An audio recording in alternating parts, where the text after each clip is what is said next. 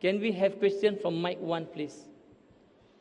My name is Das, Anthony Das, and I am a trainer by profession. My question is like this. Doctor mentioned about universal brotherhood, and doctor also mentioned that the similarities, uh, the way we see God.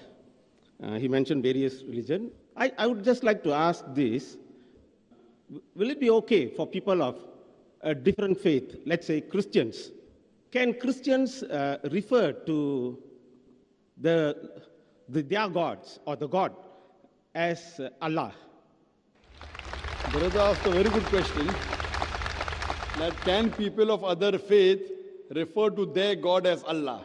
The answer was given in my lecture that if the God who you call as Allah fits in this four line definition, you can refer, otherwise, you can't.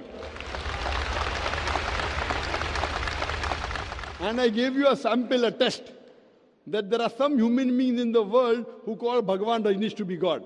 Now, when you put Bhagavan Rajneesh to the test of Surah Ikhlas, it fails. So, if you call Bhagavan Rajneesh as Allah, it is totally wrong.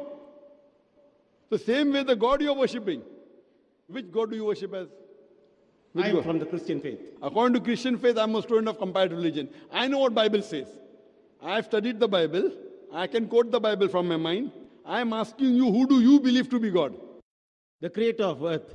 Yes, creator, no problem. But do you believe Jesus to be God?